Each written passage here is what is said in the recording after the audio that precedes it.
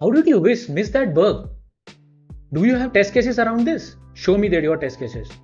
Let me know how you can prevent this. All right. So this is exactly the scenario that I have seen many times, right? So let's discuss about this in this video. Hey guys, welcome to the Testing Academy and in this video we will discuss about if someone asks you right, okay, how did you miss that bug? And there are many times where we miss the production bugs, right? How you can prevent them, uh, what are the important reasons and top reasons why you miss most of the bugs and we'll discuss a couple of more concepts, okay? So to be honest, if you already know, right, uh, fixing, if you go, if you see this diagram, right, where cost of bug versus where you need to fix stage at which they can be fixed right uh, if you see if after production the cost of cost to fix a particular bug is very very high right? So people try to avoid the bugs in production. Rather than they will avoid uh, so you can have your bugs or the errors or concerns initially at the idea phases design phases development phases or testing phases right? But you can't have this. You generally people are little stakeholders especially are uh, more concerned about if they uh, if you if you have a bug in the production right? So we will discuss about the top reasons uh, why generally we miss bugs okay? Okay so let's uh, discuss about the top reasons all right uh, you didn't test it. Actually this is uh, really important. You mislead you basically missed the area where you need to test it completely. This has happened with me many many times where uh, i was uh, not able to read the requirement properly and i missed one a couple of points in the requirements where this leads to the bug. So make sure how you can prevent this right? Uh, ask for the entry and the exit criteria right? So this is really important. What are the entry criteria?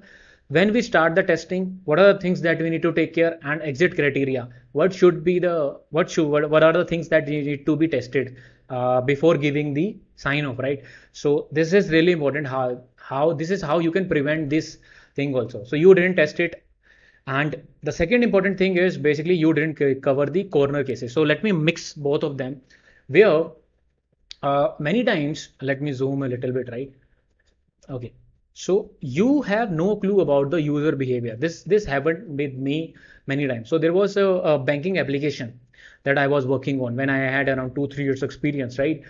I didn't have an idea how their tax calculation works uh, in us right what what is this irs and why they have put like uh, what is 4ok and other things and all right so i had no clue about it and that's where we have missed the bug because of that so uh, I didn't know how that app basically worked. I was too naive to understand the user experience.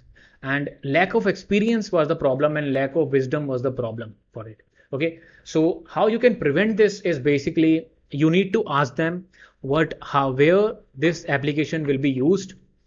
What should I know to test this application?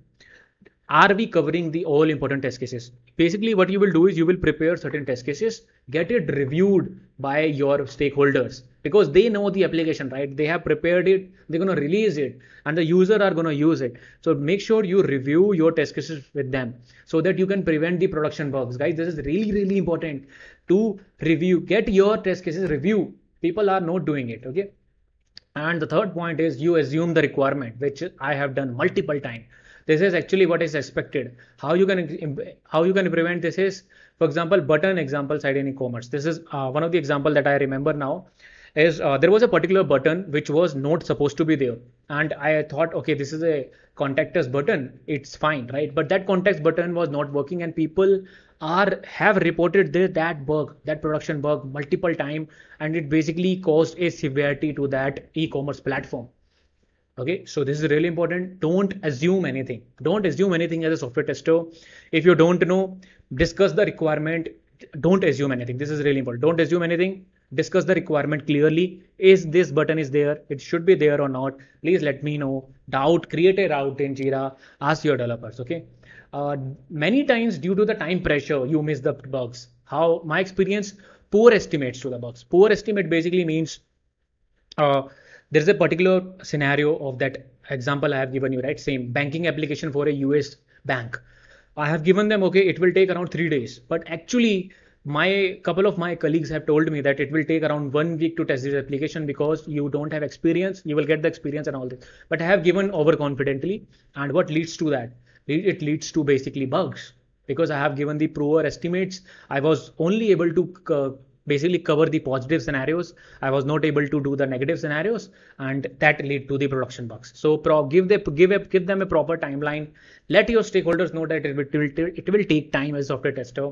Justify your time with the estimates. You are going to take the KT. You will understand the bug. You will prepare your test cases. You will review your test cases. You will execute the test cases. You will take the bug holder, take the bug report. You will basically recycle, and after fixing your bug, you will retest it. So make sure you take your time, and that time will basically decrease the production bugs. Okay that you can do.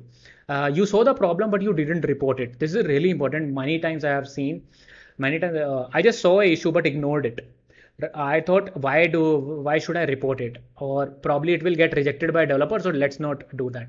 And uh, what I would suggest is let your developers know about the edge cases or the random behavior that you are seeing. So there was one application uh, mobile mobile mobile application we have created and i was a tester for that and i saw a couple of times there was a random fail random crash uh, i didn't discuss with the developer and that led to a major bug in the production and at the same time uh, there was a similar crash. And now i have learned the uh, lesson. I had discussed with the developer. Even though i didn't know about the test uh, know the didn't know about the failure how to basically reproduce that bug but developer was able to fix that bug okay? And that lead to i think that that saved a lot of time. So report everything share your risk and ask more question to the developer uh, this is how you can prevent your bugs okay how to prevent it document everything create, create your test cases peer review ask question to the developer ask about risk what if uh, this uh, production bug. What if, if this fail, what will happen? If the API is not working, what will happen? Ask question as many. Worst case scenario, what uh, you can ask developer worst case scenario is uh, if this button is not working, what will happen? RCA prepared for template trick. What you can say, they say is that I have already RCA prepared for it uh, so that you can prevent the bugs. Okay. Uh, now let's discuss about the interesting thing, other important reasons of to you how you can uh, basically miss that bug due to the communication and the time constraint that I have seen. Uh, you basically got the requirement, you tested the product, but due to the communication between you and developer and the PM, you three of us are not able to properly grab the requirement, and that leads to bug that I have seen multiple times. Lack of skill set that I have told you. Banking application example.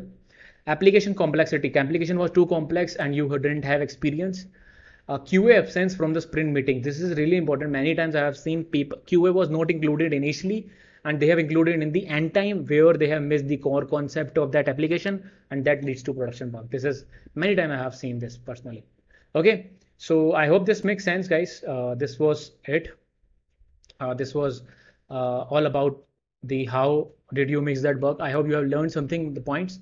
Uh, another important point I would like to give you is make sure you watch the uh, videos related to what to do when there's a bug in production, how to find the root cause analysis if there is a production in bug, production bug, and there are a couple of other videos. Okay, so make sure you search in the production bug in the Testing Academy channel, and you will find these two videos.